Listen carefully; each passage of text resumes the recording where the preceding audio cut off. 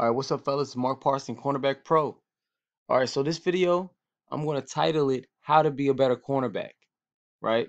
Or DB. It doesn't mean if you're. It doesn't matter if you're a safety or cornerback. Now, I want you to notice something. The video that I'm looking at, I see. I don't know if this is really DeSean Jackson. It's most. It's most likely not, but but that's what it says right here, right?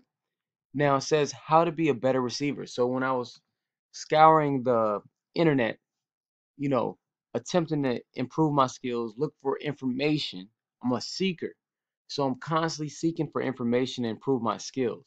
That's how you're going to get better. That's why you're on my channel. That's how you found me, most likely. That's what I do every single day to improve my skills, my knowledge of how to help you guys. So check this out. DeSean Jackson pops up. I'm like, man, look at DeSean Jackson's uh, height and weight. Now you're going to see something. You're going to see 5'10", 175. In this video, so I want you to search this video. Whatever you need to do to search this video, get this video. I don't want you to watch the whole thing. It's 20 minutes long. He says that he's 175 right here in his player stats, but really, he's definitely under 170. This dude is an amazing athlete. It's incredible. I, you know, I was with my boy Billy McMullen the other day, and I was like, how in the world this guy. He doesn't look like he's explosive. He doesn't look like he'll be, you know, he's not tall. He's not like a Randy Moss type of guy. He's not like a Julio Jones. How in the world can he run that fast and be that quick? All right. Well, I don't know, but he is that. And guess what? You cornerbacks. He's out here. I'm going to play the video.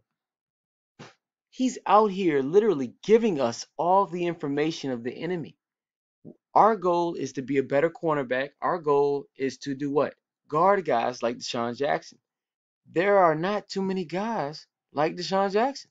I'm going to tell you right now. This dude's an amazing receiver. So my point in this video is how do you become a better cornerback? Guess what? Get into the minds of the best wide receivers. You know, I talk about it all the time. Look, go into the receiver room. Listen to what the receiver coaches teaching the receivers. Study the best receivers. The internet, the power of the internet is huge, and you may not understand it, you young guys, because you've grown up with it. I didn't grow up with this. Okay? I remember. The only information I could get was from, I remember my boy Marcus Wilder. He was our coach. He was probably like in his late 20s at that time. He ended up coaching at FIU, Florida International. But he gave us one clip and he gave us one one-on-one clips of this guy that played at Ohio State and we were like, "Yo, this is so amazing." You guys get it on the free on YouTube. So I want you to first of all know what you have, be thankful and grateful for what you have and then take full advantage of it.